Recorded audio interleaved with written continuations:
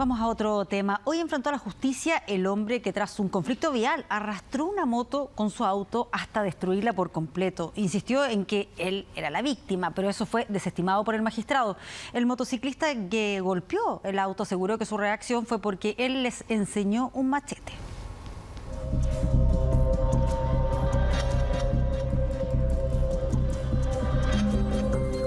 Semáforo en rojo Emanuel Rodríguez con 10 de julio. Comuna de Santiago al mediodía y un conductor comienza a grabar una discusión vial, pero poco a poco los ánimos se fueron tensando.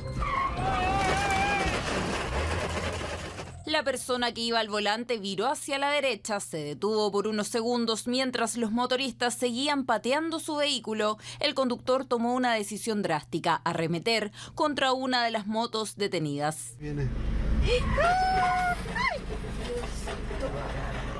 Y en este momento es en que el imputado hace un viraje en U, se sube a la plazoleta y arrastra a la motocicleta con la víctima. El motociclista Eric Centeno logró apartarse del camino y desde el pavimento fue testigo de otro hecho insólito. El conductor del auto seguía su camino mientras arrastraba la moto para entrar con ella a la autopista central. Oh,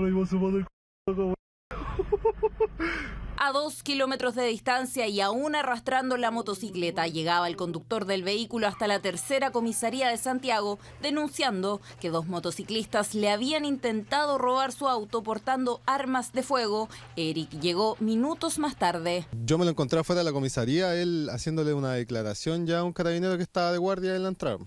Porque obviamente no es normal que llegue alguien con una moto debajo del vehículo.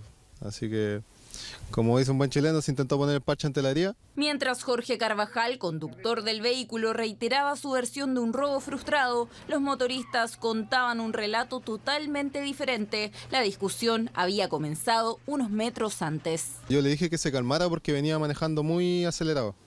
Y el hombre de inmediato empezó a hacer burla y empezó a buscar algo.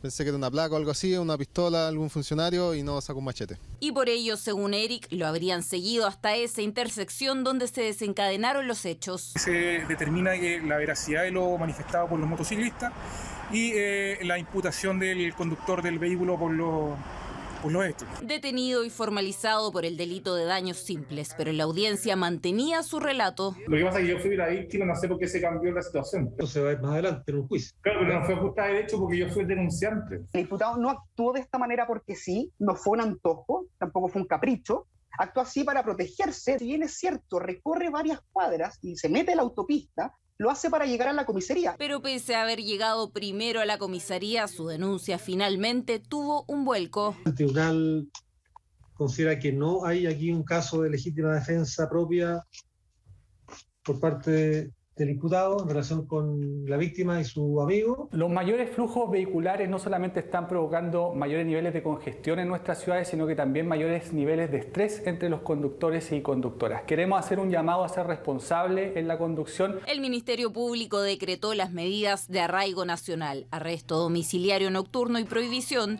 de acercarse a la víctima mientras dure la investigación, que por ahora tiene un plazo de 90 días.